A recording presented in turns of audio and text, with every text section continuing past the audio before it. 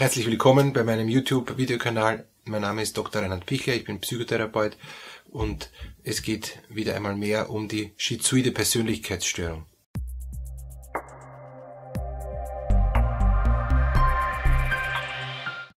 Im ersten Video ist es schon einiges über die schizoide Persönlichkeit erklärt worden in Abgrenzung zum schizophrenen Typ und mir ist es ganz wichtig, nochmal zu betonen, dass eine schizoide Persönlichkeit keine Psychose hat und auch nicht die Realität verliert. Das, ähm, glaube ich, habe ich im ersten Video ohnehin klar gesagt. Die schizoide Persönlichkeit ist ein Sonderling, ist jemand, der sich zurückzieht und der eigenbrötlerisch ist. Der jetzt nicht zu verwechseln ist mit einem Autisten, ähm, aber auch eben nicht zu verwechseln ist mit einem, der eben wahnhafte Vorstellungen hat, also schizophren ist.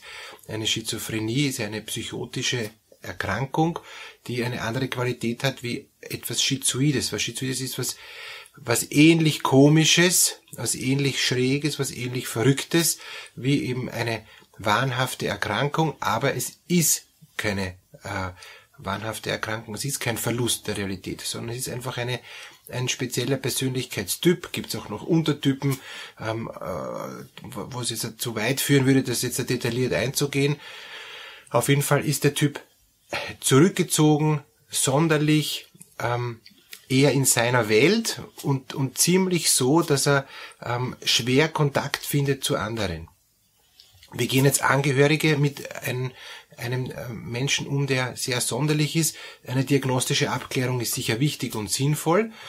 Das heißt, in welche Richtung ist er eher depressiv, dieser Mensch? Ist, ähm, ist es doch etwas Wahnhaftes, also sprich mit Realitäts Verlierendes oder ist es einfach nur jemand, der in seiner Welt gerne lebt, aber trotzdem auch wieder kontaktierbar ist, auch wieder rückführbar ist, auch, auch trotzdem wieder Möglichkeit hat, mit den anderen äh, gut in Kontakt zu treten. Dann ist er eben wahrscheinlich schizoid.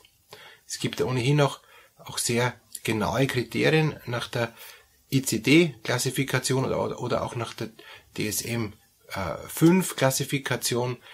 Also es müssen einfach einige Merkmale erfüllt werden. Also nach der ähm, ICD-10 Klassifikation, das ist eben die Nummer F601, müssen mindestens vier folgende Eigenschaften oder Verhaltensweisen ähm, über einen längeren Zeitraum vorliegen. Das heißt, diese Person, die schizoid ist, hat wenig Freunde und unternimmt auch wenig, wenig mit Freunden, selbst wenn sie Freunde hat, hat sie wenig Interesse an Freundschaften. Es ist so eine emotionale Kühle und eine Distanziertheit und eine, ähm, wie sie mir heißt, eine Affektflachheit. Das heißt, man merkt nicht, freut sich die Person, ist jetzt traurig, sie ist immer irgendwie gleichmütig, sie ist immer irgendwie distant und, und eigentlich ist es ein bisschen traurig, weil, weil es kommt auch keine, keine Wärme auf, es ist aber auch keine Kälte, sie ist irgendwie distant. Dann, es ist eine reduzierte Fähigkeit, äh, warme, zärtliche Gefühle äh, zu zeigen oder Ärger auszudrücken. Es gelingt der Person nicht, ist auch nicht notwendig. Und sie ist gleichgültig gegenüber Lob und Kritik von anderen ähm, und gibt aber auch kein, kein äh, Lob und keine kein Kritik. Dann sind wenig ähm, sexuelle Aktivitäten, wenig Interesse an sexuellen äh, äh Beziehungen oder auch an freundschaftlichen Beziehungen, und meistens ist die Person am liebsten allein, für sich und, und eher auch immer in Ruhe. Wenn sie in Ruhe ist, geht es dieser schizoiden äh, Persönlichkeits, äh, Persönlichkeit am besten. Dann, es gibt, und das ist eben dann auch die Grenze hin äh, zur Schizophrenie, es gibt einen ausgedehnten Fantasiebereich, ähm, sehr viel Selbstbespiegelung und da muss man dann genau differenzieren, geht es dann ins Wahnhafte, geht es dann bereits ins Irreale, geht es dann ins Verrückte oder nicht. Und ähm, das, das Spannende ist auch, ähm, sie hält sich nicht, diese Person, an soziale Normen oder an Konventionen. Sie, sie ist äh, selbstverständlich linkisch, selbstverständlich ähm, geht sie einen Weg, der so anarchisch wirkt und, und der durchaus unpassend ist in, in der Gesellschaft. Das ist dieser Persönlichkeits, äh, diesem Persönlichkeitstyp egal. Zumindest so beschreibt es eben der ICD-10. Im, Im DSM-5 ist es ähnlich. Es müssen auch mindestens vier von, von diesen ähm, hier sieben Kriterien erfüllt sein. Also auch keinen Wunsch nach engen Beziehungen, äh, keine Freude an Beziehungen und will auch nicht Teil einer Familie sein. Ähm, am liebsten einzelgängerische Unternehmungen, wenn überhaupt wenig Interesse an sexuellen Erfahrungen an anderen Menschen, wenn überhaupt ähm, äh, kaum Freude oder sogar eher sehr viel Tristesse und ähm, keine Freunde, keine Vertrauten, Verwandte ersten Grades, also die Eltern zum Beispiel oder auch auch Geschwister, die werden akzeptiert, ist aber auch nicht wichtig. Lob und Kritik ist äh, gleichgültig äh, zu sehen.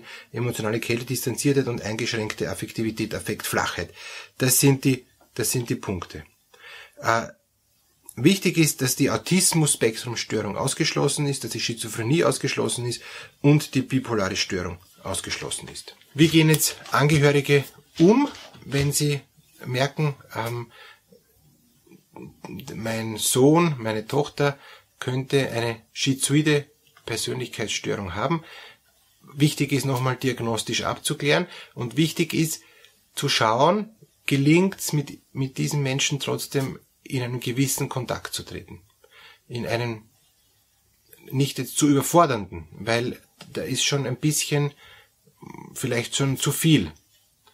Und dann auch nachzufragen, äh, was ist der Grund, warum ist es schon wieder genug? Was ist der Grund, warum, warum bin ich schon wieder müde? Warum, warum will ich eigentlich nicht mehr mehr, äh, mehr reden? Es kann schon sein, dass auch eine versteckte Depression dahinter ist. Es kann sein, dass ein sehr starkes Selbstunsicherheitsgefühl dahinter ist. Es kann sein, dass die Person einfach zufrieden ist, so wie sie ist und, und eigentlich auch jetzt äh, dadurch auch sehr glücklich und, und, und, und, und rundum eigentlich sich wohlfühlt, dann ist es in Ordnung, wenn sie so ist. Sie muss ja nicht jetzt äh, Freunde haben, sie muss ja nicht sich jetzt riesig freuen. Wichtig ist, dass sie innerlich zufrieden ist, dass sie, dass sie auch ihr, ihr Leben schafft ähm, und, und das ist, das ist, dass sie nach eigener Aussagung sagt, ich, es geht mir gut, ich bin zufrieden. Darum geht's. Als etwas anderes äh, kann man sich auch als Eltern auch jetzt nicht wünschen. Wenn man aber merkt, die Person ist unzufrieden, die Person ist sehr traurig, die Person äh, leidet an, an ihrer Situation, dann ist Hilfe zu suchen sinnvoll, aber dann wird oft auch die Person, auch wenn sie wenig Kraft hat, sagen, ja bitte ähm, unterstützt mich, ich möchte hier raus, ich möchte hier mehr Antrieb, ich, ich möchte mehr äh, Freunde, ich, ich möchte mehr Freude, ich möchte mehr Leben, ich, ich, ich will da nicht drin stecken bleiben.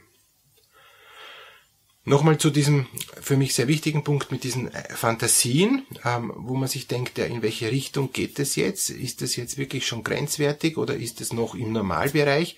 Das kann sein, und das habe ich auch im ersten äh, Video ja auch, auch versucht zu erklären, das kann sein, dass es sehr schwimmend ist. Und, und auf dieses Schwimmende muss man achten. Und es gibt Menschen, die auch ein Stück so austicken in, in was Schizophrenes, also in Realitätsfernes, die aber dann auch wieder zurückkommen.